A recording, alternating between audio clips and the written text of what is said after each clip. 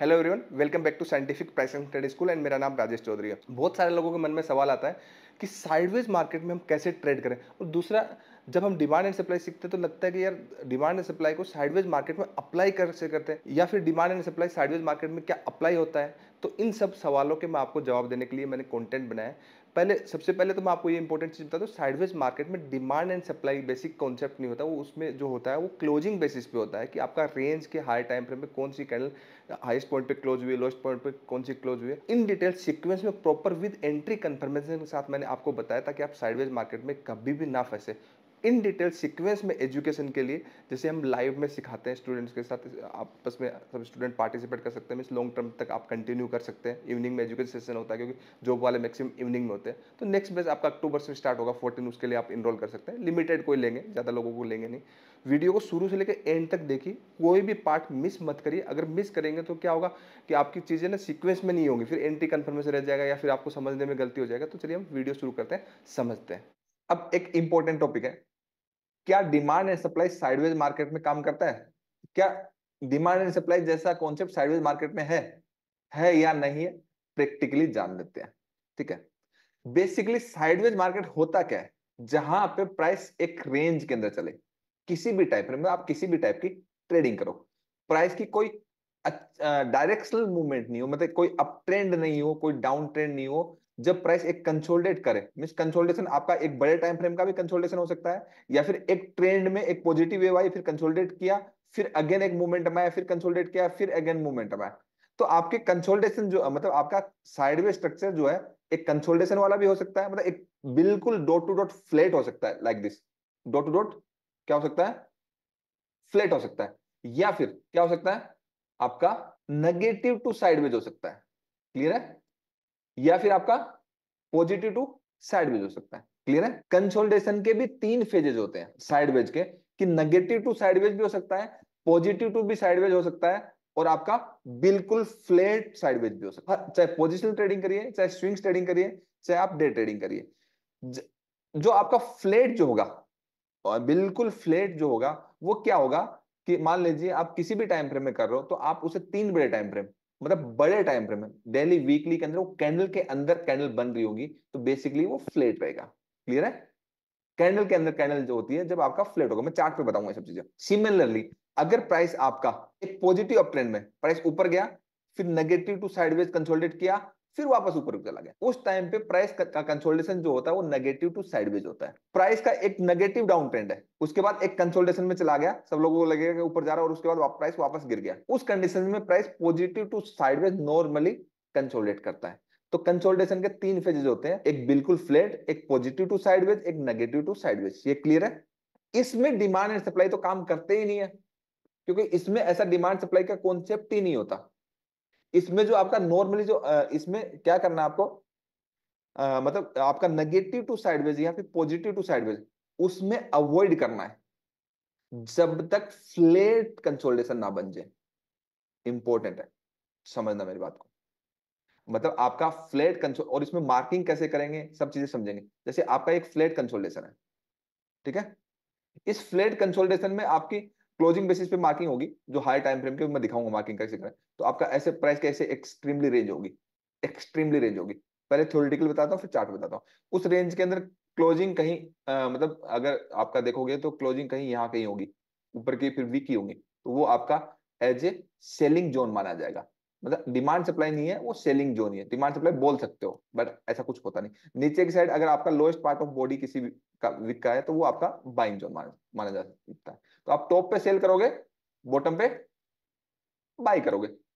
High time frame की अगर candle के अंदर कैंडल है ओनली एक्सट्रीमली रेंज इस एक्सट्रीमली रेंज के इस एरिया में कहीं भी आप फंसोगे तो वो आपका नो ट्रेडिंग जोन कहलाता है। वहाँ बेसिकली आपको फंसना नहीं है। ये आपके फ्लेट साइडवेज रेंज होती है। अब साइडवेज के अंदर बहुत सारे लोग फंसते हैं। कब? मैं आपको बताता हूँ। जब प्राइस आपका एक पॉजिटिव अप ट्रेंड में होता है, कि प्राइस आपका ऐसे एक पॉजिटिव अप ट्रेंड में गया, ठीक है? और फिर प्राइस ने क्या किया? कंसोलिडेट करना स्टार्ट कर दिया। नेगेटिव टू साइडवेज मतलब ट्रेंड नेगेटिव नहीं हुआ नेगेटिव टू जस्ट विक से तोड़ रहा है। जैसे बीटीसी ने दिल्ली के अंदर नेगेटिव टू साइडवेज कंसोलिडेट किया। किया ना? बीटीसी ने जो किया था कंसोलिडेशन किया था दिल्ली और वीकली के अंदर नेगेटिव टू साइडवेज तो उस कंडीशन में प्राइस को वापस ऊपर जाना है। मतलब एक दिन तो ऊपर जाना है ना। उस कंडीशन में आपको वेट करना अगेन एक फ्लेट साइडवे स्ट्रक्चर वेट होने का। उसके बाद प्राइस भागेगा। क्लियर है? जब भी आपका पॉजिटिव अप ट्रेंड हो and negative to sideways consultation हो, उस कंसोल्टेशन के बाद प्राइस फ्लेट जब तक ना हो, तब तक उसमें पॉजिटिव मोमेंटम में आपको ट्रेड एग्जीक्यूट नहीं करना। उसके बाद वो ब्रेकआउट करेगा। सिमिलरली अगर प्राइस का नेगेटिव डाउन ट्रेंड है, और उसके बाद प्राइस ऐसे पॉजिटिव टू साइडवेज कंसोलिडेट करता है तो एक मूवमेंट आपको ऐसा चाहिए ये हाई जो है इसके प्राइस फ्लेट चाहिए। उसके बाद प्राइस यहीं से डॉट टू डॉट गिरना स्टार्ट हो जाएगा। तो negative to sideways and positive to sideways overall structure के साथ थोड़ा सा अवॉइड करना है, देख के संभल के करना है, नहीं तो दिक्कत होगी। सिमिलरली फ्लेट है, कोई इश्यू नहीं। अब चार्ट पे समझ लेते हैं। मैं सबसे पहले गोल्ड वाला एग्ज़ाम देता हूँ। और हमेशा एक्सट्रीमली रेंज पे ट्रेड करना। जैसे आप यहाँ पे गोल्ड को देखोगे फोर आर में देखिए। फोर आर में ये कंसोलिडेट कर रहा था। आप जस्ट एक बार क्या करिए आपको मार्किंग आप सिर्फ़ और सिर्फ़ हाइट टू लो मार्क करिए। ये कंसोलिडेशन फ़ेज़ था था ना? जी जी।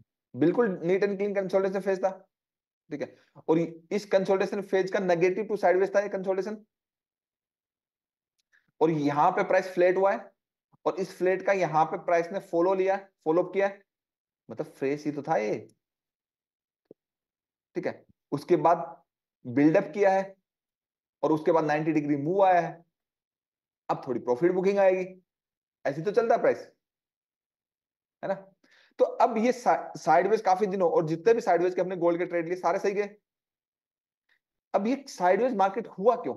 बिकॉज़ ऑफ़ अगर आप वीकली देखोगे, अगर आप इस एक कैंडल को छोड़ दो तो प्राइस ने क्या किया? तीन वीक तक एक ही रेंज में फंसा रहा मार्केट क्लियर है? ट्रेंड अप था, लेकिन तीन वीक तक मार्केट नेगेटिव टू साइडवेज रहा।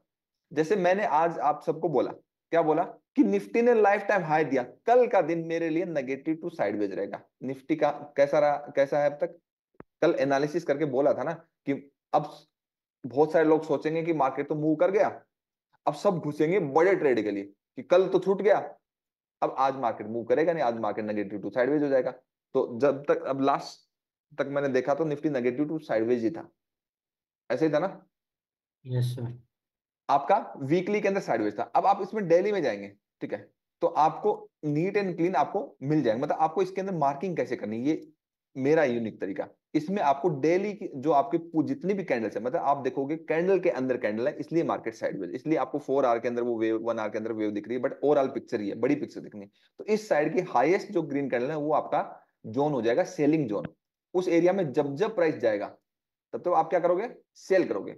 और जो लोएस्ट आपका रेड कैंडल है, उसके नीचे की जितनी भी वीक है, वो एरिया आपका क्या हो जाएगा? बाइंग एरिया अब उसके बेसिस पे आरली फोर आवर में आपको जो करना है करो। बड़े बड़े आपके टारगेट्स आएँगे। क्लियर है? बट स्क्रिप्ट का ओवरऑल स्ट्रक्चर तो पॉजिटिव था ना। अब, आप वीकली में स्ट्रक्चर को देखिए गोल्ड को। ओवरऑल स्ट्रक्चर क्या था? पॉजिटिव अब ये नेगेटिव टू साइडवेज कंसोलिडेट कर गया।